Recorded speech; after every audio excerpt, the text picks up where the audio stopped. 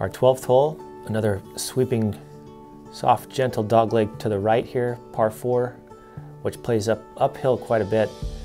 The tee shot is fairly flat, but your second shot, your approach shot will play longer. The aim point of this fairway is a palm tree right at the corner of the fairway bunkers on the left. That's, a, that's an excellent aiming point for you. You want to make sure you go ahead and hit driver here to give yourself the shortest iron you can in. And as I said, this uphill approach shot has you adding at least one club to your approach shot. This green pinches down in front is very narrow at the very beginning of it and then broadens up.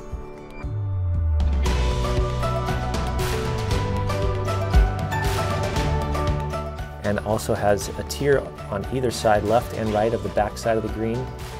Then there's a middle tier through the middle part of the green, and then another smaller tier right on the very front part of the screen. A lot of movement.